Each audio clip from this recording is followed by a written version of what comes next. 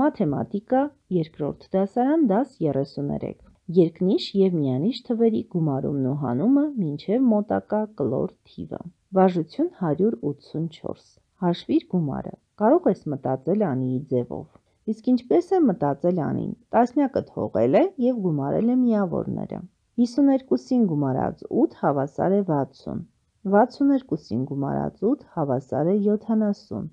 72-ին գումարած 8 հավասար է 80։ Նույն ձևով B տարբերակը։ 47-ին գումարած 3 հավասար է 50, 57-ին գումարած 3 հավասար է 60,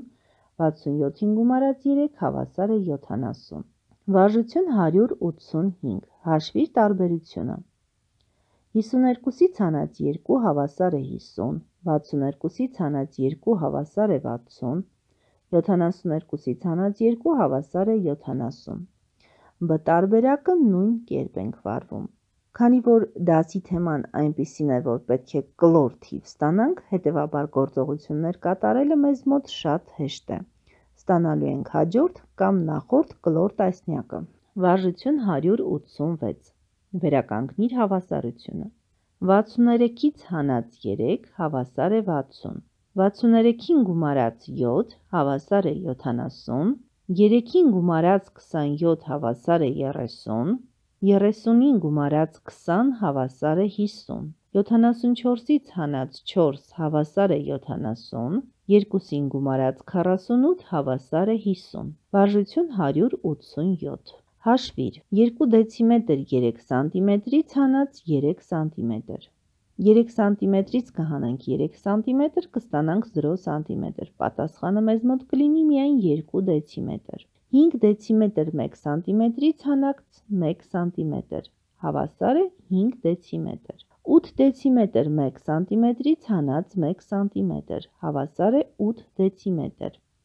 4 դեցիմետր 6 սանտիմետրից հանած 6 սանտիմետր, հավասար է 4 դեցիմետր։ Վարժություն 188։ Գտիր աղյուսակը և լրացրու այնպես, որ ստանաս հետաքրքրաշարժ աղյուսակ։ Հետաքրքրաշարժ աղյուսակում բոլոր ուղություններով գումարվող թվերի գումարը պետք է լինի նույն թիվը։ A տարբերակում 18, B տարբերակում 15։ Մի ուղությամբ արդեն ունենք կատարված գործողությունները։ Հիմա կփորձենք իրար գումարել 2 և 7 թվերը, կստանանք 9։ Իսկ եթե 18-ից հանենք 9, դարձյալ կստանանք 9։ 9 թիվը կգրենք 2-ի և 7-ի մեջտեղ գտնվող վանդակում։ 7-ին կգումարենք 10, կստանանք 17։ 18-ից կհանենք 17, կստանանք 1։ 1-ը կգրենք 7-ի և 10-ի մեջտեղի վանդակում։ 6-ին կգումարենք 1, կստանանք 7։ 18-ից կհանենք 7, կստանանք 11։ 11-ը կգրենք վերևի մեջտեղի վանդակում։ 2-ին կգումարենք 11, կստանանք 13, 18-ից կհանենք 13, կստանանք 5, 5-ը կգրենք աջ կողմի վերևի վանդակում։ 5-ին կգումարենք 10, կստանանք 15, 18-ից կհանենք 15, կստանանք 3, կգրենք դատարկ վանդակում։ B տարբերակը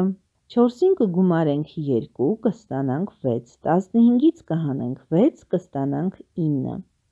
9 կգրենք 4-ի և 2-ի միջև գտնվող դատարկ վանդակում։